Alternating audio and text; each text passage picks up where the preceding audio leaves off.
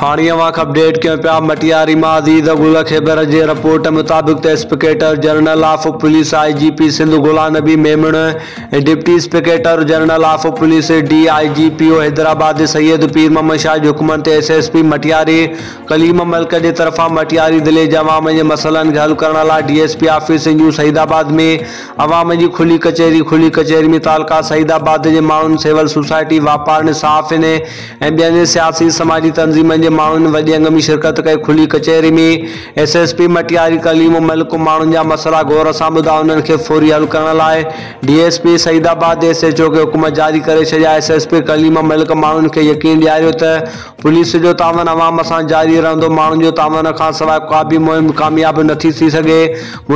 समाजी दुश्मननि खे ख़तमु करण में असांजो साथ ॾियो। हिन वक़्तु हिन मटियारी ज़िले में मुनशात जी ख़ात्मी ताईं जारी रहंदी। मुनशात, असांजे नसुलनि गोखलो कर आहे। खोखलो करे छॾियो आहे। मुंशात जे ख़ात्मी में मटियारी पुलिस जो साथ ॾियो।